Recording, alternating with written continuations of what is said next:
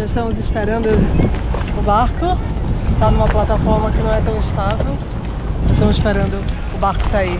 Às 4 horas faltam 10 minutos. Estou vendo ali que o Cris está em dúvida de como ele vai descer.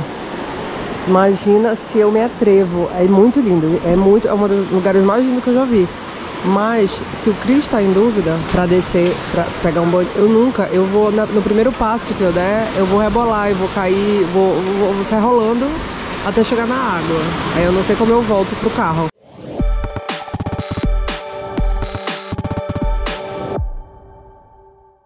E aí galera, falamos diretamente de Montenegro. Chegamos aqui ontem em Montenegro. A gente está bem pertinho da Croácia, para quem viu o vídeo anterior viu que a gente estava na Croácia antes, né? E aí atravessamos, fizemos o, a checagem de passaporte e chegamos em Montenegro. A gente está na primeira cidade aqui, é, perto da Croácia, na fronteira. E aí, vou mostrar pra vocês que nenhum dos dois veio aqui ainda. É a primeira vez nossa aqui em Montenegro. Estamos muito animados, mas antes de começar o dia a gente precisa tomar café. Então a gente está procurando algum lugar para tomar um café pelo menos. Eu vi esse lugar que é bem perto de onde a gente está. Lugar bem bonito, gente. Aqui onde a gente está é Meline, se eu não me engano é esse o nome. E é tudo muito bonito mesmo. Tô animada para conhecer mais daqui. A gente vai de croissant com manteiga e geleia. E eu pedi um, um cookie de chocolate com caramelo, com sal, com flor de sal.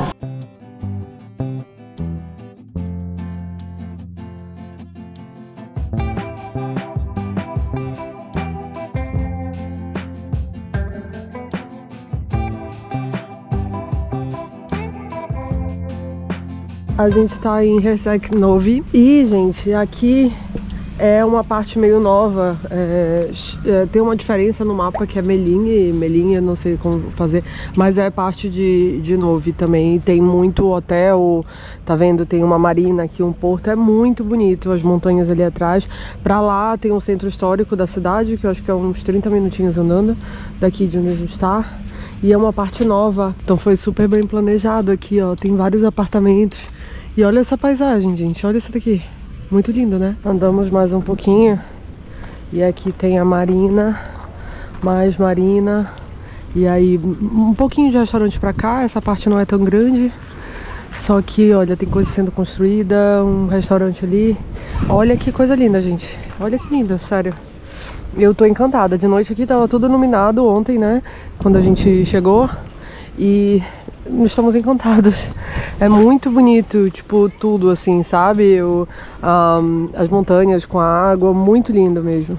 E várias pessoas estão ali pegando sol já, que está, o sol está daquele jeito, né? Daquele jeito. Aqui tem um hotel e aí tem as cadeiras de sol ali, não tem areia, não tem nada, tá? É só pular mesmo pra água.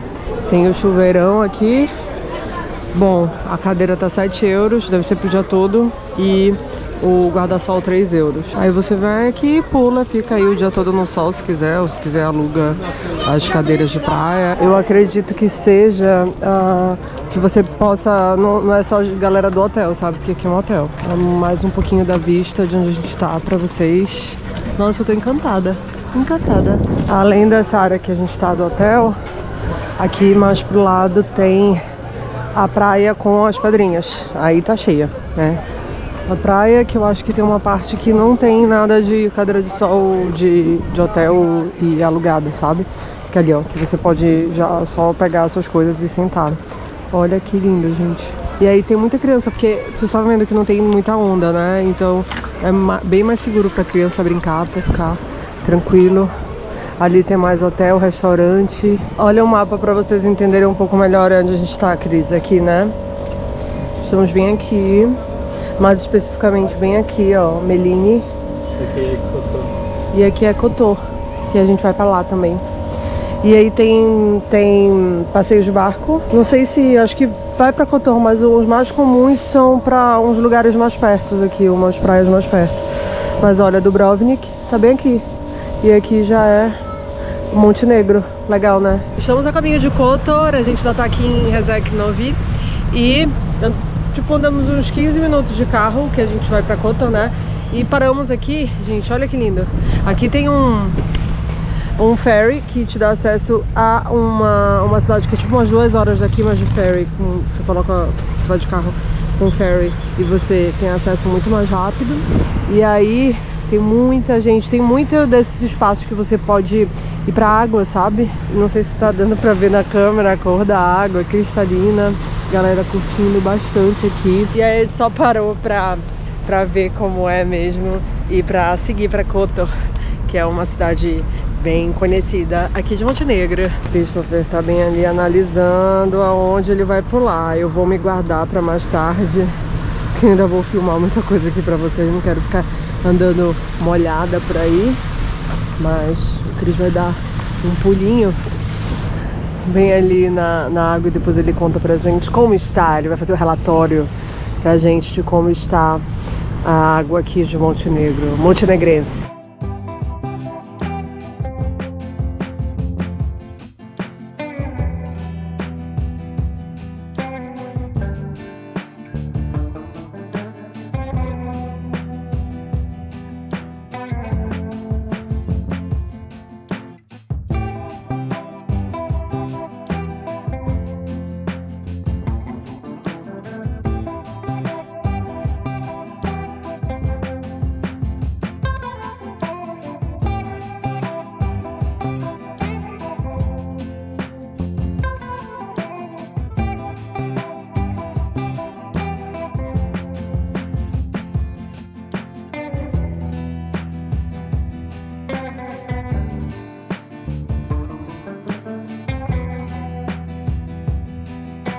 Chegamos aqui em Kotor, gente. E aí vou dar uma dica pra quem vier de carro, né? Quem vier passear por aqui é, e vier de carro, tem esses... É, agora tem um bom estacionamento, né?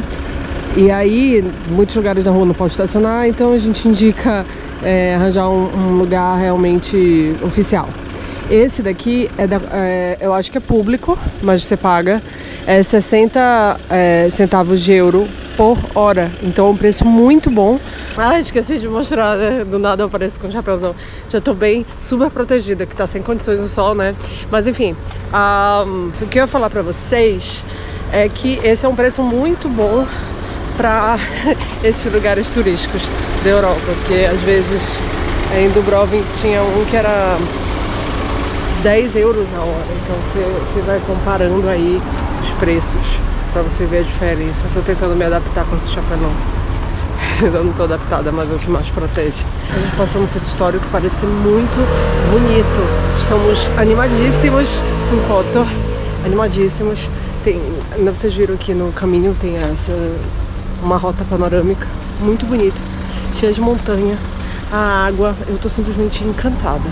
Com certeza mais tarde, no final do dia, eu vou pular nessa água. Cris já pulou e já falou que tá maravilhosa e é isso, animados com o dia. Aqui é como é pra entrar no, no centro histórico, tem mais um, um navio de cruzeiro pra lá e a gente tá em direção do centro histórico. Também aqui tem muita gente, é um lugar bem turístico aqui de Montenegro. Então tem bastante gente se encaminhando para o centro. Já vimos também o, a entrada do, do forte, sabe? Das muralhas e é muito legal. Olha o navio de cruzeiro bonito. O Cris me falou que ele quer subir ali naquela... Ali no alto do castelo, desse castelo não, dessa torre. Vai encarar, Cris? Isso ele encara, com certeza absoluta sem pensar duas vezes. Mas eu não. Mas olha ali, tem, eu acho que tem algum lugar para você subir e chegar lá no topo. Um pouquinho aqui da Marina de Cotton. Aqui tem vários supermercados, é tipo uma cidade, está bem movimentada. Muito ônibus turístico, muito, muito carro também. Olha aqui os barcos. E aqui é um muro que já é da, da cidade antiga, né? Do centro histórico e a gente vai pra lá. Aqui em Kotor também tem vários passeios turísticos. Mais ou menos é isso que a gente viu, que é 40 euros, são 3 horas de tour, então tá até ok. Né? Porque às vezes você paga por uma hora é 30, 35 euros. E tem vários, tem tour privado, várias opções, muitos lugares. Nós estamos prestes a entrar é, no centro histórico na cidade antiga aqui de Cotão. Essa entrada é muito bonita, né? Vamos explorar juntos.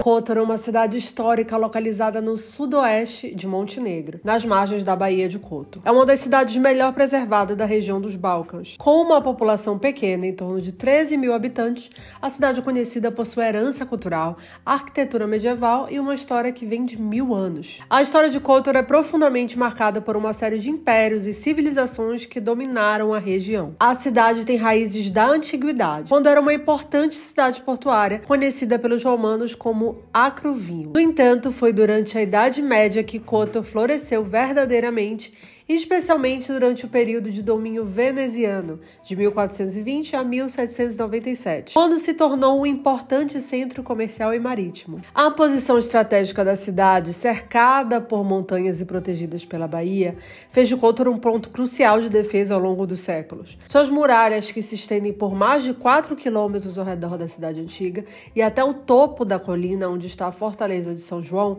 são testemunhos de sua importância militar. Essas fortificações impressionantes ajudaram a proteger a cidade de invasões, tornando Kotor uma das cidades fortificadas mais bem preservadas do Mediterrâneo. Mas o coração de Kotor definitivamente é sua cidade antiga, uma joia da arquitetura medieval. Cercada por muralhas de pedra, a cidade antiga é um labirinto de ruas estreitas, praças charmosas e edifícios históricos que datam dos períodos romanos e veneziano. Passear pela Jorge Couto é como fazer uma viagem no tempo, com igrejas antigas, palácios e praças medievais. Uma coisa que eu vejo muito aqui nas mesas é a galera, tipo, família vindo, sentando no restaurante e jogando carta, tipo, ou carta normal, ou Uno, ou algum outro tipo de jogo de carta, dadinho. Não é tão típico pra gente, vou falar por mim, né, fa fazer isso, mas aqui a gente vê muito mesmo, muita gente, famílias todas sentadas jogando carta. Saímos um pouquinho aqui da cidade antiga pra procurar alguma coisa pra comer, porque tudo ali dentro é mais caro e a gente sabe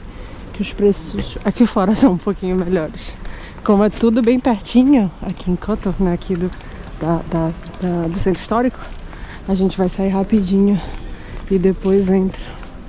Ah, como, como é aqui perto do centro histórico, são prédios normais. Nós viemos aqui no supermercado pegar um, um tipo um por aqui, um folhado aqui pra gente. Uh, preferimos, né? E aí, pra inclusive economizar dinheiro. E aí, ontem no restaurante que gente estava, tinha Guaraná no cardápio de vários lugares. A gente, nossa, aqui tem Guaraná, o que, que é? O que será que é isso? E aí a gente descobriu agora que é isso aqui, é tipo energético que não é Guaraná, gente. Não é o nosso Guaraná energético de nome Guaraná. Bom, a gente comeu aquele folhadinho, que foi o nosso meio que almoço, depois a gente come alguma coisa melhor.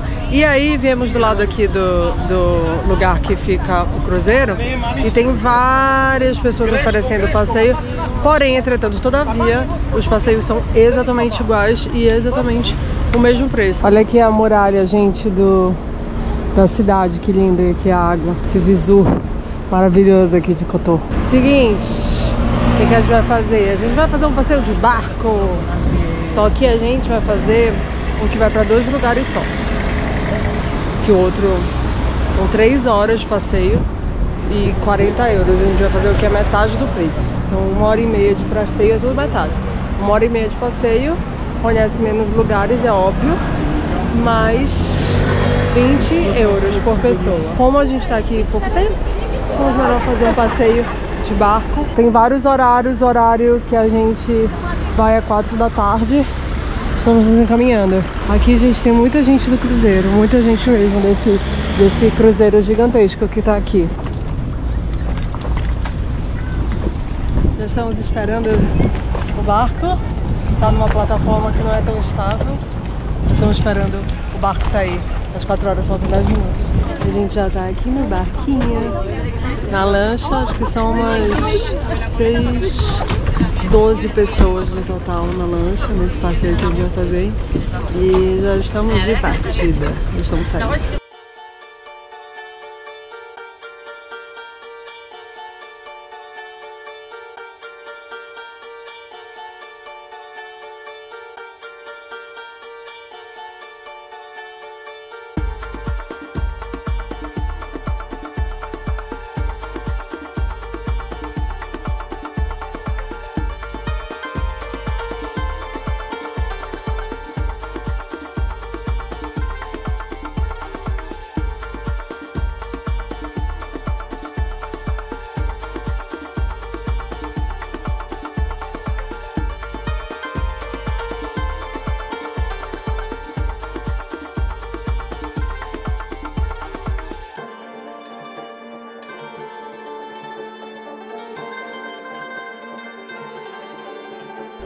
Olha, eu vou te contar, eu não sou do tipo de pessoa que tem medo de barco, não.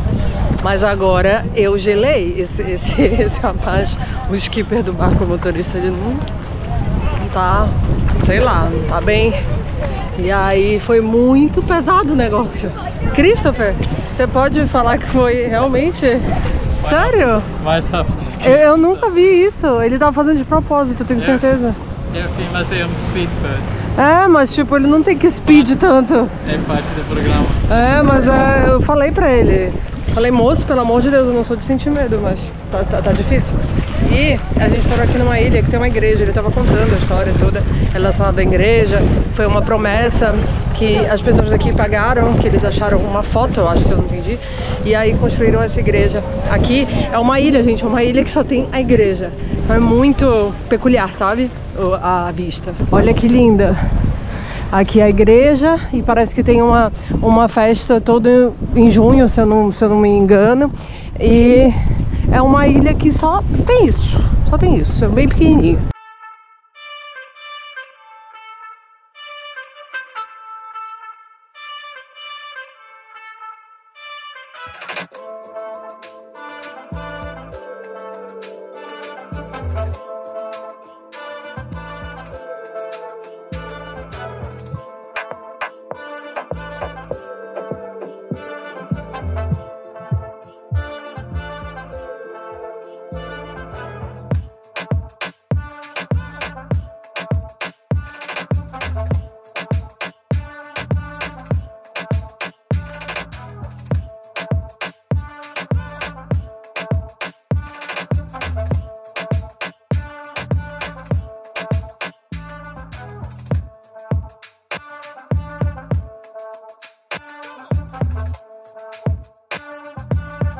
Barco agora parou em Perás, depois de naquela ilhazinha. Bem ali, olha, a gente tá, tá conseguindo ver por aqui.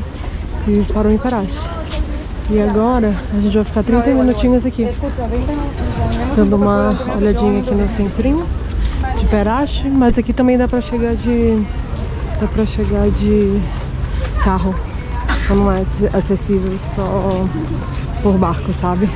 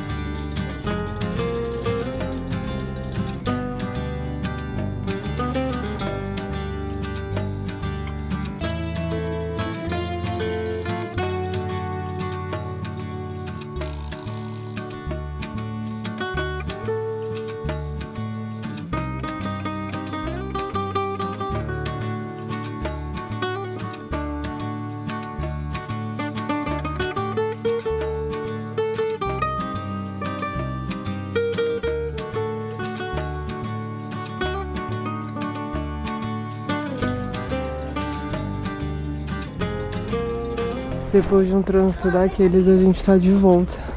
Queria mostrar pra vocês aqui de noite. Lembra que eu filmei de manhã exatamente aqui? Pois é, agora de noite. Olha como fica lindo, tudo iluminado. Aí, vocês acreditam que a gente ficou um tempão no trânsito, só tem uma via. E aí ficamos um tempão. Tomei banho voando e viemos comer, porque 10 horas muito o restaurante fecha. Nós andamos aqui pro, pra Novi, né, pro centro histórico. A gente tá.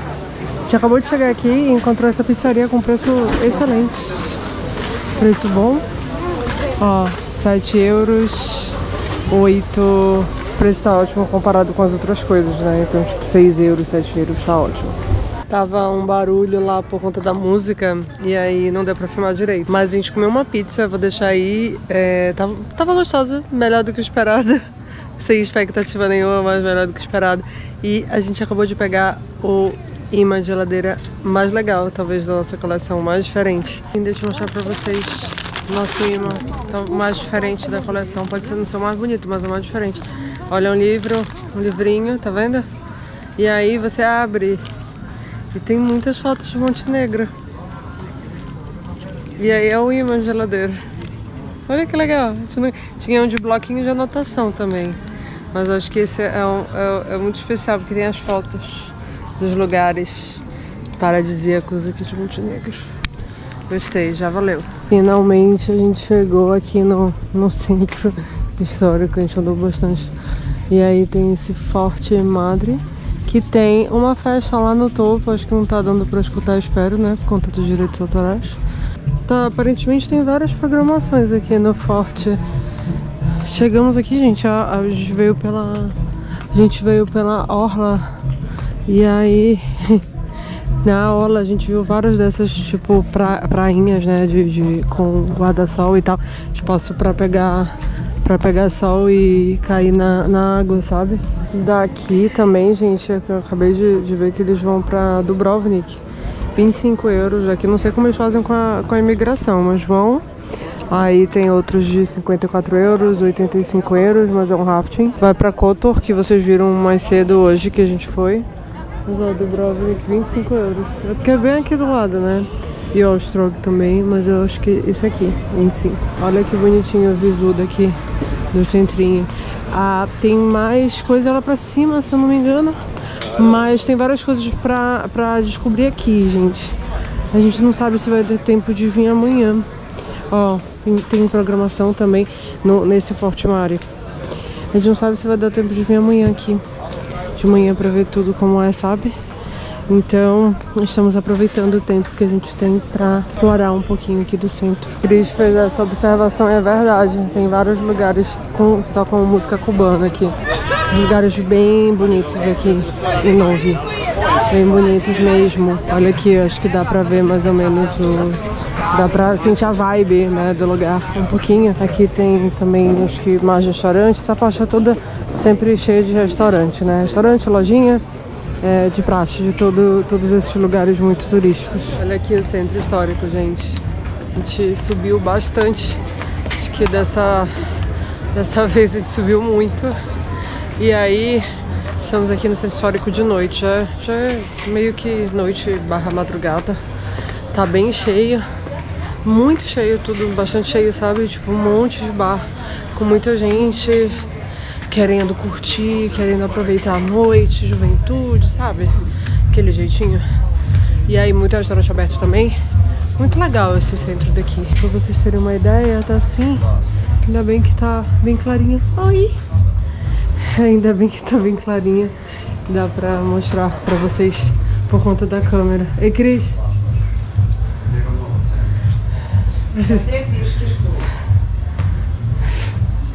Cachorro gostoso disso. Aqui é a igreja de São Miguel Arcanjo e uma fonte belíssima. Olha aqui, já tá, tá mais vazio porque tá, tá bem tarde já, gente. Mas só pra vocês entenderem mais ou menos como é o centro aqui, né? Pra gente entender também como é o centro. E aí, galera, mais um dia aqui e já estamos de saída da, de Montenegro. Como eu falei pra vocês aqui, é muito pertinho da Croácia, onde a gente estava, Resek Novi. Estamos na estrada, vou mostrar um pouquinho pra vocês. E estamos quase chegando na hora de, da checagem dos passaportes. Como eu acho que eu não mostrei tanto, por conta do que tava de noite, hoje eu acho que dá pra mostrar um pouquinho. Mas é, o esquema é você não sair do carro pra pra fazer a checagem de passaporte, sabe? Você fica no carro, dá seu passaporte, é bem rapidinho. Geralmente tem um trânsito, né, de pessoas, mas esperamos que não demore tanto. Filmar dentro aqui do, do carro pra, por conta do barulho, senão não dá pra falar. Mas olha que linda a paisagem da estrada, com as montanhas e essas árvores, que eu não vou saber o nome, dessas árvores pontudas, estão vendo? Muito linda, super diferente. Todo esse a estrada daqui e, tipo, óbvio, né, do final da Croácia com a entrada aqui de Montenegro é dessa forma. Agora já estamos chegando perto da fronteira. Primeiro de Montenegro para sair e depois da Croácia para dar entrada. Olha aqui, aqui nessa parte de Montenegro tá bem sussa para passar. A fila tá, não tá tão grande, acho que tiver um trânsito no mapa talvez seja da, da Croácia. E aí tem aquelas cabines, tá vendo? Você tem que descer pra, pra fazer a, a. Eu não sei porque eu tô falando baixo, mas pra, pra dar seu passaporte. pra... Acho que nem tem carimbo, né? Nem vi se carimbaram o meu, mas do Cris não. Nós ficamos mais de... Acho que 35 minutos aqui na fila. Mais? 50. 50 minutos aqui na fila pra, pra fazer a saída aqui, a entrada na Croácia, né? Em trânsito, um monte de carro, um monte de carro, acho que, sei lá, uns 3 km de engarrafamento. Mas estamos chegando. Ali já tô, já, já consegue ver o, as cabines de passaporte. E aí agora vai ficar um pouquinho mais fácil depois disso. Que não tem que fazer mais essa, essa entrada e saída de país. No caminho, bem pertinho de Montenegro, a gente mal dirigiu, sei lá, uns 30 minutos. Depois viemos aqui numa praia, que o Cris sabe o nome, eu não sei. e é... olha que lindo, gente. Montanha, agora tem uma trilha pequenininha, eu acho. Assim, toda bonitinha, pra chegar na praia. Não estou nos meus trajes de banho. E essa trilha uma das melhores, né? Pra chegar na praia, porque olha aqui o visu. Você vai andando e vai vendo a vista. Aqui o Cris protegendo do sol.